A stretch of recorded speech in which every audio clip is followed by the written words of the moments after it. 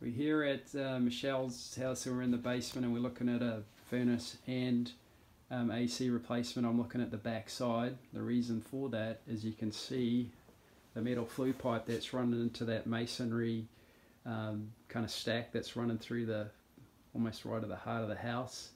Um, so that's one thing we're going to need to do here. We're going to get a new need a new flue liner um, drop down the chimney. I've come around this side Looks like at one point uh, the furnace um, was connected to the back side. Looks like a larger diameter hole. At the moment there's a 4 inch flue um, from the furnace and then there's a 3 inch flue from the water heater if you can see it through that gap. Yeah, so we're going to need a 5 inch liner uh, down the chimney and we'll connect in the water heater and the furnace, get that up to code. Um, electric panel, you can see it over in the distance. Um, it's a new panel.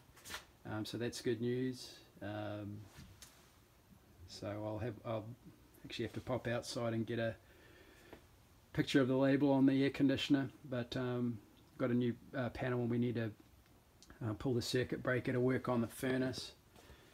So I'll just come in from this angle. Um, I got the measurements. Um, it's a 48 inch by 17 inch uh, furnace. We do have some room on that return drop. It's actually six inches right now. Um, you can see a one inch filter.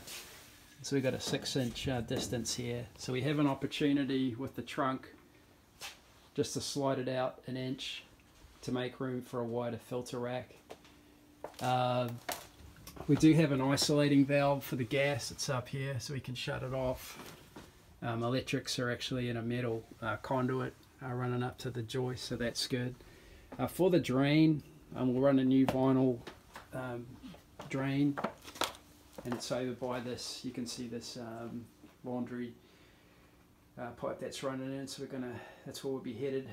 So enough uh, uh, vinyl condensation line to make it to that uh, drain which um, looks like it's probably about 15 probably 16 feet to get around to the front of the furnace. Yeah new metal flue pipe um, the line set, it's an unfinished basement situation, so you can see this line set, it's kind of following that um, supply trunk and then it's making a 90 degree to meet up with the AC unit outside. Um, so unfinished basement will recommend we run a new um, line set um, to connect to the new air conditioner. Uh, as far as the access is concerned, we are in a non walkout situation so you can see some stairs. So we're going to be um, taking the old equipment out new equipment up those stairs. That's it